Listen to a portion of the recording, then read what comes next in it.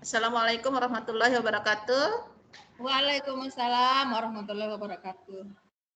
Uh, baik Bu As, uh, saya tugas kita sekarang itu setelah pengamatan saya observasi kemarin, kita saya akan melanjutkan pada kegiatan kita uh, observasi.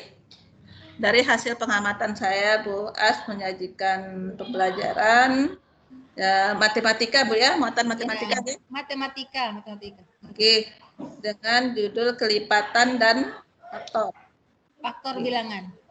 Nah, kelipatan faktor bilangan. Nah, Alhamdulillah. Bagaimana Bu perasaannya Ibu saat menyajikan? Alhamdulillah eh, sudah terlaksana walaupun kita nyampaikannya secara daring melalui WA group tapi bisa juga dengan langsung video call. Oke. Berarti uh, kemudian reaksinya anak-anak Bu terhadap anunya gimana? Uh, pertama mereka kebingungan untuk mengamati video karena kita kan kirimkan video. Tapi setelah diamati se se sampai selesai, alhamdulillah bisa menjawab eh, tugas-tugas uh, yang sudah di, dibagikan melalui modul itu, walaupun masih tetap didampingi orang tua. Nah, Alhamdulillah Bu ya, Alhamdulillah. Ya. Uh, berarti respon orang tua juga bagaimana Bu dengan pembelajaran daring ini Bu?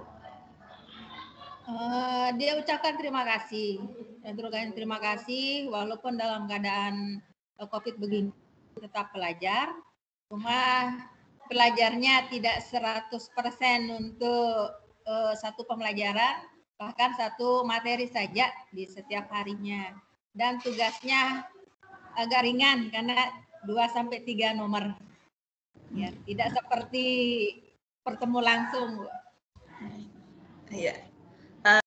Ya pengamatan Alhamdulillah Bu As tadi saya saya mengamati itu semua pembelajaran pembukaan awal sudah bagus Ya, kemudian Bu As menyajikan video-video pada anak-anak. Semoga ya. anak lebih cepat mengerti seperti harapan kita. Anak orang tua pun bisa membimbing, Bu ya. Amin, amin. Kemudian yang terakhir tadi saya lihat sudah Ibu memberikan apa namanya tugas-tugas kepada anak-anak. Alhamdulillah. Ya. Cuma ada satu sedikit sedikit Bu As ya daripada anaknya. Uh, belum dijelaskan tujuan pembelajaran dan? Oh iya bu.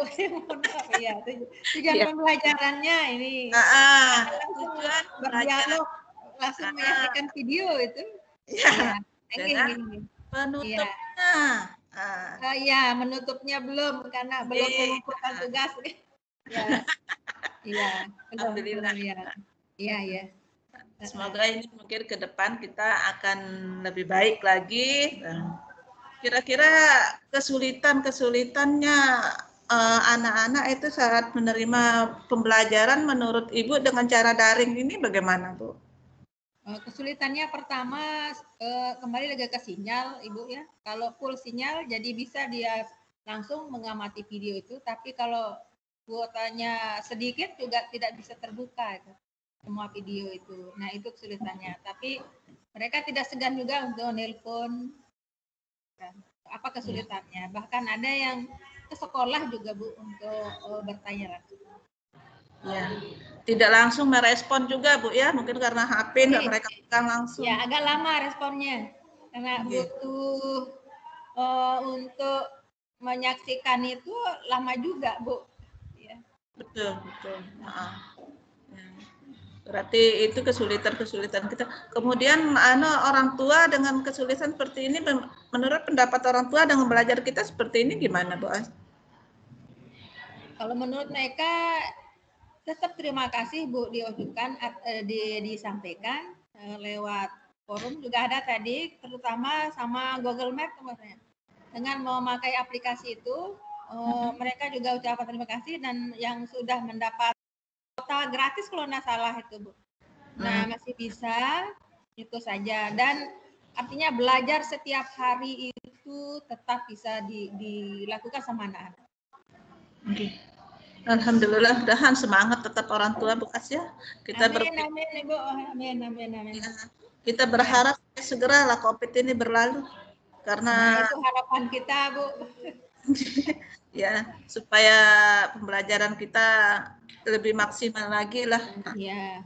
Tapi ya alhamdulillah Bu dari cara Ibu memberikannya itu sudah bagus, sudah mudahan ke depan tuh kita lebih bagus lagi Bu ya. Kita berharap. Uh, terima kasih banyak. Kira-kira harapannya Ibu ke depan kalau umpamanya saya masuk observasi dengan cara seperti ini apalagi Bu? Mungkin ada pendapatnya.